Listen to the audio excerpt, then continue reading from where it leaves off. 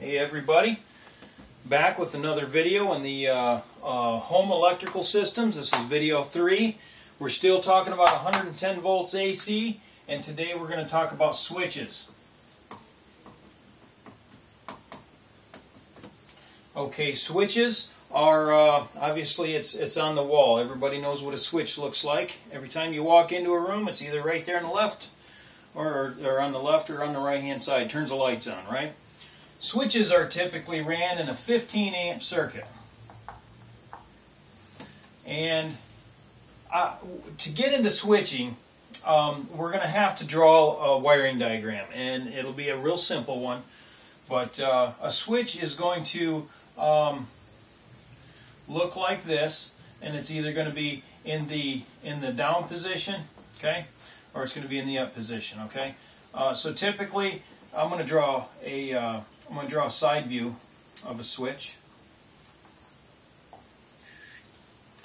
Okay, and, and like the plugs, you are uh, you're going to have uh, two screws. You're going to have two screws here, and it doesn't matter um, what the colors are. I think there's they're, there's I think they're brass, but uh, when the switch is in the up position, that means it's on. Okay, if it's in the down position, that means it's off. If it's backwards of that, then it's either either installed upside down or you have maybe something different that's called a three-way switch. Okay? But this is three-way switches are for another video because that gets into more wiring schematics. So this is what you call a um, uh, it's just, it's a switching uh, it's a switch. Okay, okay, here we go. I'm going to draw in a, uh, a, a, schematic. And we have, this is, this is one wire, okay? Uh, this is going to be um, uh, how we're going to draw this. This, is, this, this little symbol here is an indication, indication of a switch. And then we're going to draw our load Loads can be motors, light bulbs, whatever, but we're going to draw our load like this. Okay, this would be a symbol for a load because that would indicate some type of coil or resistance. Okay, um, it, you can also uh, maybe see it as something like this in a wiring schematic. That would indicate a motor or something like that. Um, but we are looking at a light bulb. There's our curly coil, right? Okay. Okay, so, and then this goes back to the other end. So in, in the open position, this switch here is currently in the open position, and no electricity can flow through this wire, okay? Absolutely nothing's going to happen there. Um, when you close the switch, okay, so that would be look that would look like this.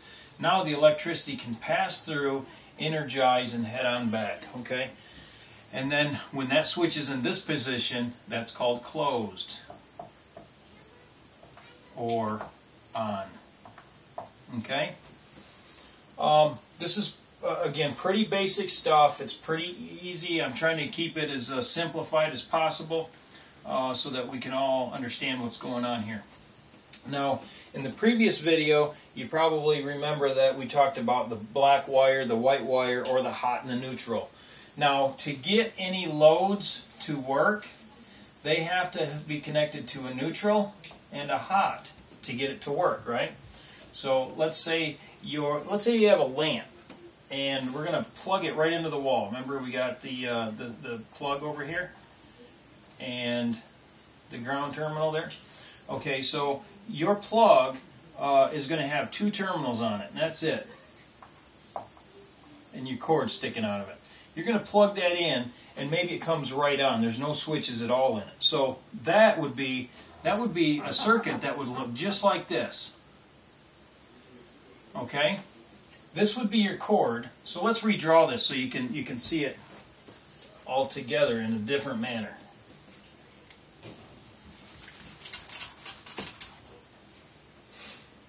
Okay, here's your, here's your light or your lamp. Here's your light bulb and your curly coil. Here's your cord, okay? and you've got your, your plug on the end of it with two plugs. You're going to plug it into the wall. One, two, and there's your ground. You plug it in. That circuit is going to look just like this. I'll try to draw it as close as possible. You got your black wire. Uh, in this case, it may not be black, but it is your hot wire, okay? And then you got your neutral wire, okay? This is your cord. This would be your plug, okay? And on the other end of this is your lamp or your load, okay? That's pretty much it. That's that's all that circuit is. So we'll get into more circuits and things uh, on, on upcoming videos, but I just wanted to cover switches real quick. And switches do nothing more than open the path of electricity from the hot um, in, in your in your neutral and and some type of load. Okay. There's there this this would indicate that it would be on all the time, and then we go ahead and take this out, put a terminal stop here. There should be one here and here too, and and then bing, we open the circuit, and electricity cannot flow through there. All right, uh, that's that.